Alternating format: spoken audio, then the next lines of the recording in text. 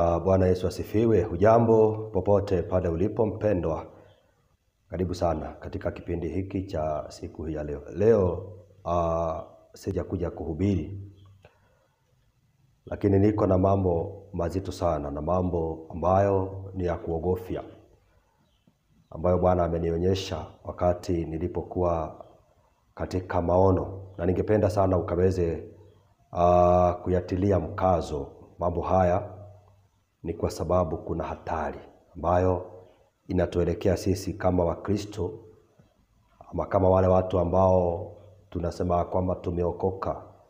Kuna shida kubwa ambayo nimeiona katika maono, na wakati nilikuwa katika maono hayo nikawa ninamuuliza Bwana maswali, na Mungu wetu akaja akaniambia niwaambie watubu. Kwa sababu hiyo ningekwambia tu tubu na Bwana atakusamehe. Nimeona uh, usiku ya kwamba watu wengi sana, watu wengi ambao hawakupata hesabu wakitupwa jehanamu. Na mpendwa, kile kitu ningependa kukuambia ni kwamba jehanamu ipo na si hadithi. Hayo ni mambo ambayo yapo, na nimeona watu wengi wakubwa kwa wadogo, watu weusi, watu weupe watu wa kila tabaka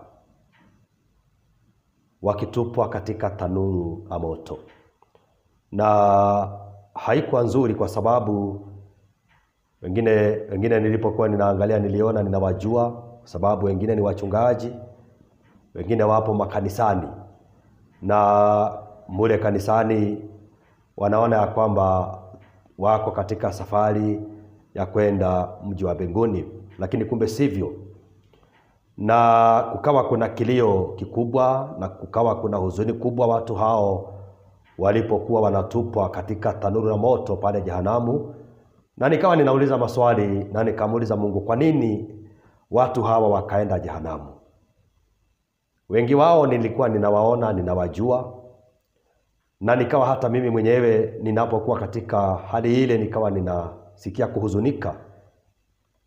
Na yale mambo ningependa kukuambia ni haya, kwa sababu watu wa kwanza ambao niliambiwa na niliwaona wakiingia jehanamu, Bwana akaniambia hawa walikuwa ni manabii wa uongo, walikuwa ni matapeli, waliwatapeli watu kwa jina langu, waliwadanganya watu kwa jina langu. Watu wengi wamepotea, mioyo mingi imepotea, ni kwa sababu ya kuwatumainia wao.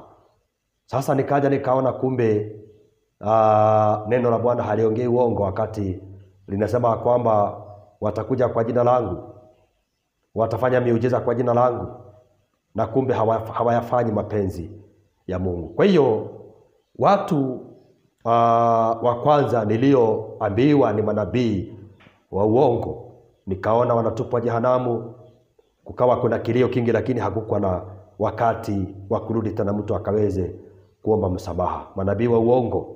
Na nyinyi watu ambao mnadanganya watu kwa jina la Mungu, ni Mungu awasaidie sana, kwa sababu kuna hatari ambayo inawangojea nyinyi. Mnatapeli watu kwa jina la Mungu, nyinyi mnatapeli watu mkijua kweli ni uongo, mnaongea. Kama kipindi hiki cha siasa, kumekuwa na manabii wengi ambao wametabiri vitu ambavyo tukiangalia katika macho ya mwili tunaona vimepitana na ule unabii walioutoa. Ni sawa, pengine uliongea ili upate jina kubwa, pengine uliongea ili kwa YouTube upate subscribers wengi, pengine uliongea kanisa lako lijae, lakini ujue Bwanake Bwana aliniambie waambie watubu. Usipotubu, hata kama wewe ni mchungaji, hata kama wewe ni unajiita vyovyote vile unavyojiita, unaelekea mwisho wako ni jehanamu. Jambo lingine ni kwamba niliota nilio, niliona tena watu wengine na nikamuuliza Bwana akaniambia hawa nao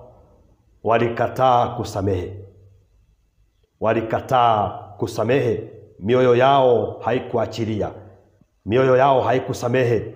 Mtu alikutenda uovu, lakini haukumsamehe. Mtu alikukosea, pengine wewe ni mchungaji ama wewe ni mzee wa kanisa, mke wako alikukosea, lakini bado haukumsamehe bado umembeba. Bwana akaniambia sababu ya mtu huyu kuingia jehanamu ni kwa sababu alilala ama wakati alikufa, alikufa akiwa na hali ya kutokusamehe. Neno la Mungu huwa linatufundisha kwamba tusameheane, ya kwamba ukinikosea nikusamehe. Ndiyo, kuna makosa mengine unasikia huwezi ukasamehe, lakini Bwana anakuambia msamehe ili na yeye akusamehe. Kwa hiyo kama hutaki kwenda jehanamu, kwa sababu nimetumwa kwako kwako wewe ambaye unanisikiza, sababu yule ambaye amelala faili yake imefungwa na hakuna wakati atapata nafasi nyingine ya kuwa katika ulimwengu huu, na neno hili hana nafasi ya kulisikia. Wewe ambaye umepewa nafasi ya kulisikia neno hili, hebu mwachilie huyo ambaye umembeba, msamehe ili Mungu akaweze kukubariki. Msamehe tu na Bwana atakubariki. Bwana akaniambia hawa wamekaa bila kusamehe. Ndiyo tuko makanisani, ndiyo tunahubiri, ndio tunaimba, ndio tunaongea kwa ndimi, lakini bado tumebebana. Kuna mtu alinikwaza, nimembeba, nikifa nitaenda jehanamu. Watu walikuwa ni wengi, kilio kikawa ni kingi mahali pale, lakini hakupata mtu ambaye atakayewasaidiana. Jambo lingine na wale watu wengine ni wale niliona ni kwamba ni watu wako makanisani lakini si waaminifu.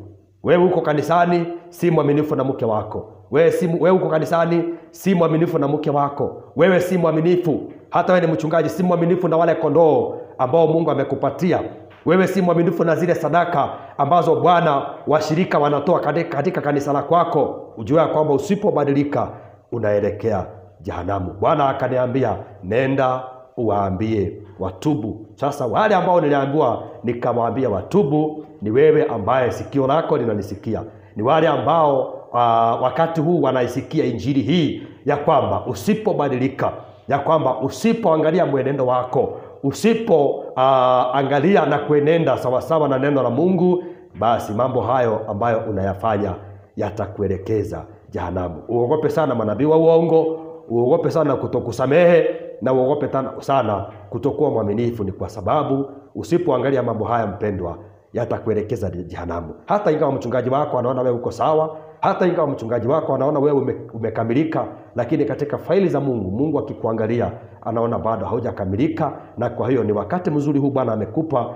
ili ukabadili ukabadili mienendo yako, usije ukaingia jehanamu. Turn katika hiyo njia, njia ulioishika na ukamgeukie Mungu. Bwana anasema kwamba uh, uh, ukija kwangu nitakusamehe, ukija kwangu nirudieni, nami nitawarudia ninyi. Kwa hivyo utakapomrudia Mungu wako, yeye naye atakurudia na atakusamehe dhambi zote, na hapo ndipo inafikia ombi la toba. Hapo ndipo kunafika kwamba sasa mwambie atubu, na mimi nimekuja kama nilivyoambiwa nikuambie utubu, na Bwana atakuokoa. Shalom, mimi naitwa mchungaji Joel Barton.